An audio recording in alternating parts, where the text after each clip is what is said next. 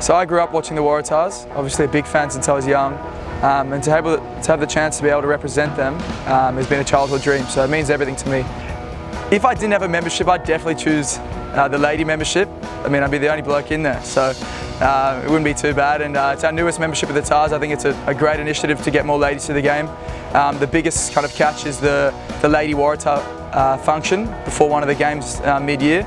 Uh, I've been to a couple of those pre-game when I wasn't playing and they're an absolute ball, didn't really want to go out onto the field and, and, watch the boys, just wanted to stay in there. Yeah, our members are always the loudest in the crowd. Obviously they're our most loyal supporters, you know, jumped on board before the season, which shows, you know, a lot of belief in the team and, and where we're trying to, to head to. Um, and so I think this is going to be a successful season and they're going to be able to share the ups and the downs with us. Um, and I'm, I'm looking forward to celebrating with them um, after a grand final.